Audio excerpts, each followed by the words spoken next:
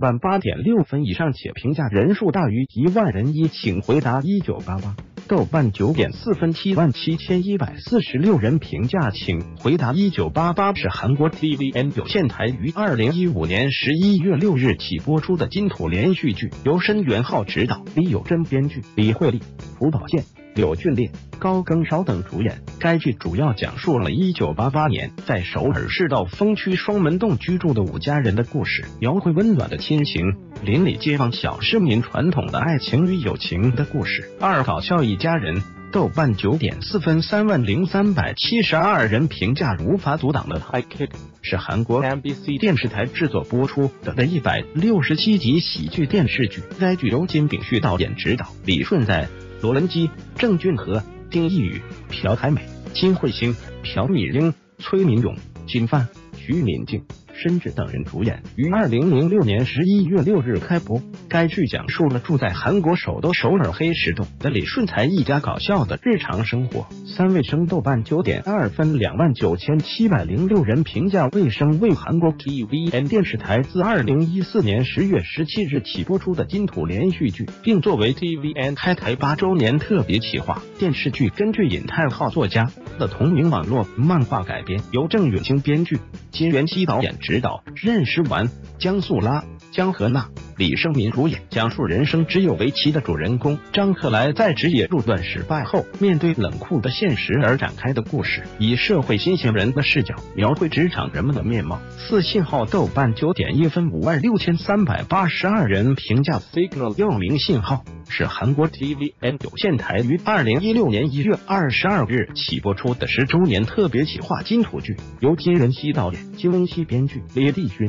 金惠秀、赵振军主演。该剧主要讲述现在的刑警涂海英和过去的刑警李才涵通过老师对讲机穿越时空进行连接，并在过程中破获了一些长期未结案件的故事。该剧获得第五十二届韩国百想艺术大赏电视剧部门最佳电视剧奖。最佳剧本奖，无请回答。一九九七，豆瓣九点一分，四万八千五百六十八人评价，请回答。一九九七，是是韩国 TVN 有线电视台于二零一二年七月二十四日起在火药档播出的青春剧，由申元浩导演，李友珍编剧，郑恩地、徐仁国、申素玉、燕之源、李浩源等主演。该剧以韩国偶像团体的。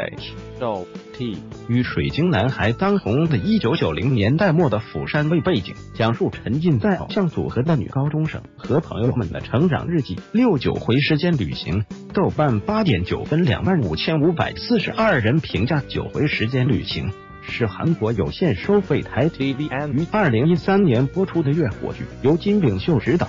宋在正编剧，李振剧，赵伦熙主演。该剧以穿越时空旅行为素材，讲述了失去哥哥的男主人公获得九只能回二十年前时光的神秘的箱之后，开始展开一系列曲折离奇时间旅行的故事。七杀了我，治愈我。豆瓣八点八分，两万八千五百八十三人评价。Kill me, help 杀了我，治愈我。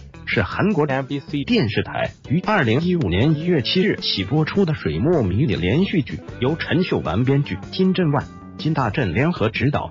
的多重人格障碍及虐待儿童现象为题材的电视剧，此剧由中韩合作投资议员联合打造，是首部结合韩国公司策划和制作实力以及中方资本的电视剧作品。讲述具有七重人格的财阀三世车渡贤、池胜世。和他的秘密女主治医生吴丽珍、黄正英式的治愈系搞笑浪漫爱情故事。八对不起，我爱你。豆瓣八点七分，五万两千七百零二人评价。对不起，我爱你是韩国 KBS 二零零四年出品，由李亨银执导，李庆熙执笔，苏志燮、林秀晶、郑京浩。徐志英等人联袂主演的月火偶像剧，该剧以收养为主题，描写了一个关于被抛弃孩子悲苦人生的心碎故事。九请回答。一九九四，豆瓣八点七分，两万两千八百七十一人评价，请回答。一九九四是韩国 TVN 有线台自二零一三年十月十八日首播的金兔剧，由申元浩执导，李友珍编剧，高雅拉、郑宇。刘演熙等演员主演。该剧背景设定在一九九四年，以薛泰智和孩子们、篮球大盛宴、美国世界杯等为素材，讲述来自韩国不同地方的学生们在那一年为上大学而相聚，在首尔后发生的妙趣横生的故事，时听见你的声音。豆瓣八点六分，六万三千五百二十五人评价，听见你的声音。是韩国 SBS 电视台于二零一三年六月五日首播的奇幻爱情剧，由赵秀媛执导，朴慧莲编剧，李宝英、李钟硕主演。该剧讲述了百分之一存在的国选律师与拥有读心术的超能力少年之间的浪漫爱情故事。十一人显王后的男人，豆瓣八点六分，四万六千一百零六人评价。人显王后的男人是韩国 TVN 收费有限，台于二零一二年四月十八日起。